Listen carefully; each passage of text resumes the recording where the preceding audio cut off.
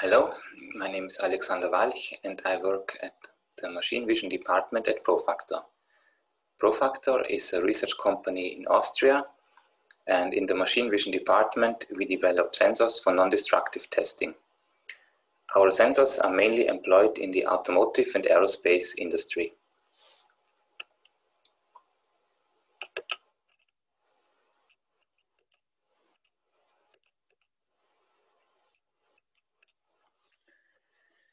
Today I'm going to tell you something about the sensor that we developed to assess the surface of aircraft interior parts.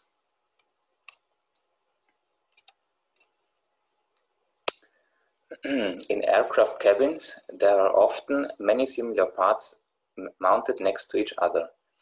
Here, the homogeneous appearance of their surfaces is important. Therefore, a method to assess the surface properties is needed that is similar to the human perception. Here we see the hedge of an overhead bin. It represents a typical part that needs to be assessed. Its surface properties are determined by its coating. the two images on the left side are grayscale recordings of such a coating. Different surface properties result in different textures in these images. The upper image, for example, shows a coarser surface, which is indicated by the larger structures in the texture.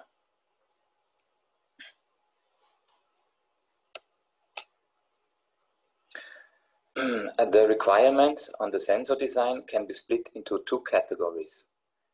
There are standard requirements, um, for example, the field of view must be large enough to acquire enough information about the texture. It must be possible to assess also curved, curved surfaces. and there won't be an automated positioning system. So it must be possible for a human to acquire reliable and reproducible results with the sensor. there are also soft requirements which depend on the human perception. The results of the sensor must be similar to the, to the surface assessment of humans. Uh, the two reference samples for the coarseness of the surface only represent the coarsest and finest allowed surfaces. uh, and for the sensor, for the calibration of the sensor, there are only samples available which are scored by experts. Therefore, the calibration depends on the human perception of the surface.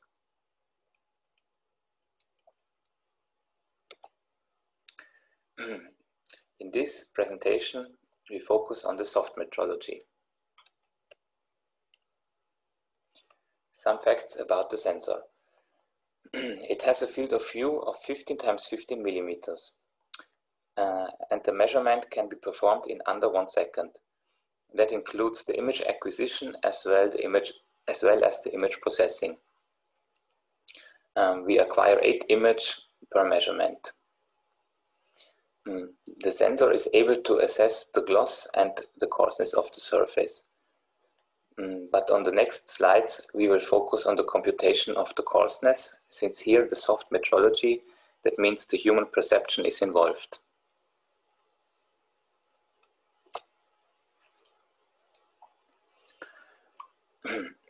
the computation of the coarseness is based on three handcrafted features. The first feature is the Tamura coarseness a well-known texture feature that computes the coarseness by measuring the size of the structures of the texture. It turned out that this feature alone is not able to explain the coarseness perceived by the expert, and so two additional features were added. We count the number of brightness peaks in the image. Coarse, coarse surfaces tend to have fewer larger peaks compared to fine surfaces. And the third feature is the contrast at their peaks. Uh, the contrast tends to be higher at coarse surfaces compared to smooth surfaces.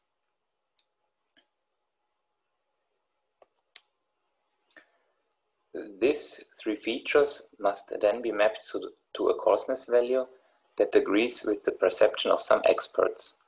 The computation of this mapping is done in a calibration step. Here the problem is that the experts need physical samples for their assessment.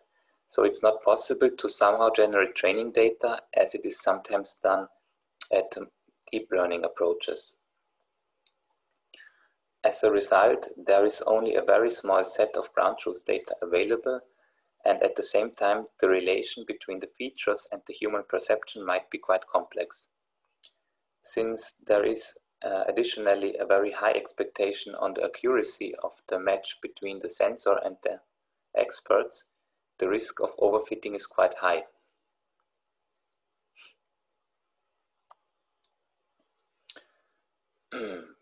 we use Gaussian process regression to get control over the variability of the function that maps the features to the coarseness.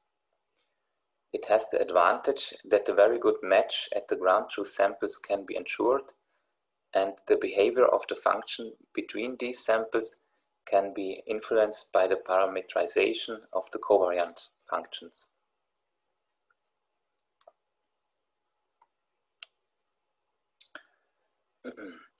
we used 13 samples to compute the aforementioned mapping, mapping of the features. The plot on the right side shows the sample ID on the x-axis and their coarseness values along the y-axis. Each sample was assessed by four experts and the black dots represent the mean value of their scores. The variation between the coarseness scores of the experts is visualized by the vertical lines and the samples are sorted from the smoothest to the coarsest sample according to the mean score. The reference sample of the smoothest and coarsest allowed surface uh, allowed surfaces are the samples number 7 and 12. Uh, they also serve as the anchor points for the coarseness scale, which values of 10 for the lowest and 20 for the highest allowed coarseness. Since the experts knew the reference samples, they all agreed uh, on their score, which explains why the variance at sample 7 and 12 is that low. Um, also, some of the samples were scored smoother than the reference samples of the lower coarseness bound, and one sample was coarser than the upper bound.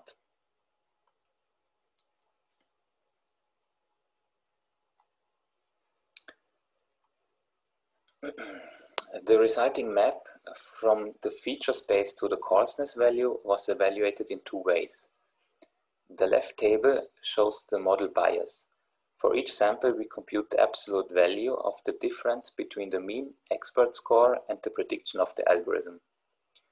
The mean of the 13 absolute errors is only 0.32. And the right table shows the model variance. Here we use the leave one out method that is a common cross-validation method in machine learning to test the model. The model was trained 13 times. One sample was removed from the ground truth dataset at each training run and this sample was predicted afterwards. The mean error of that predictions can then be used as a measure for overfitting. The value of 2.39 is clearly larger than 0.32 of the model bias. However, it is still in the range of the variances of the expert scorings.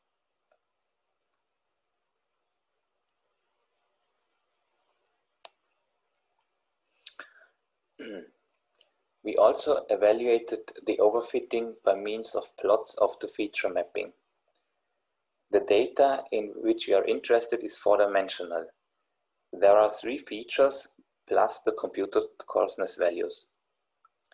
Therefore, we evaluate the mapping with fixed values for the peaks and contrast feature.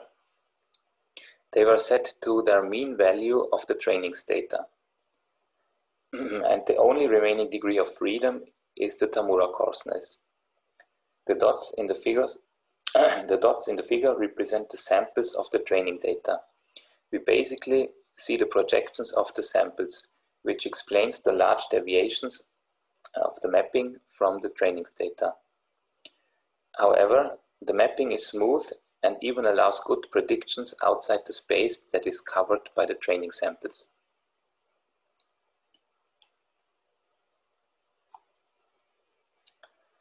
We showed uh, that uh, Gaussian process regression in combination with handcrafted feature, features is well suited to model complex relationships.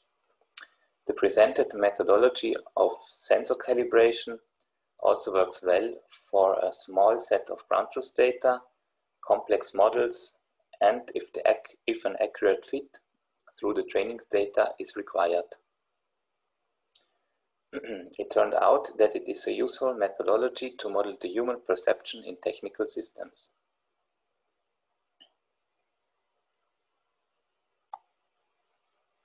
I hope you enjoyed the presentation and that the presented methodology can be applied in your future projects.